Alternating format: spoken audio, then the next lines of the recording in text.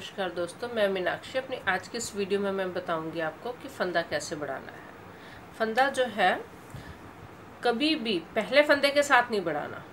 फंदा हमेशा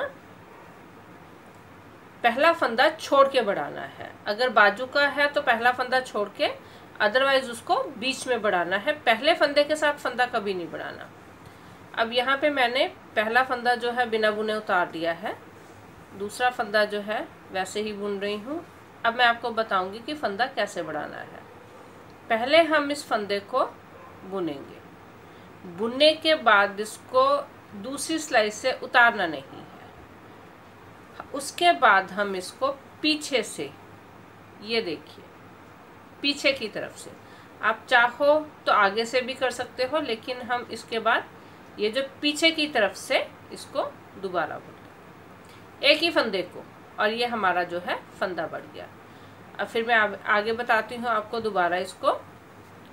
सबसे पहले हम फंदे को ऐसे बुनेंगे। दूसरी सिलाई से इसको उतारना नहीं है। उसके बाद पीछे से एक बार फंदा हमने आगे से बुनना है और दूसरी बार इसको, ये देखो, ये पीछे से बुन के हम इस तरह से इसका, ये जो है, फंदा बढ़ाएँगे। जहाँ भी आपको फंदा बढ़ाने की ज़रूरत है नॉर्मल तरीके से, वो हम ऐसे ही बढ़ाएँगे yeah.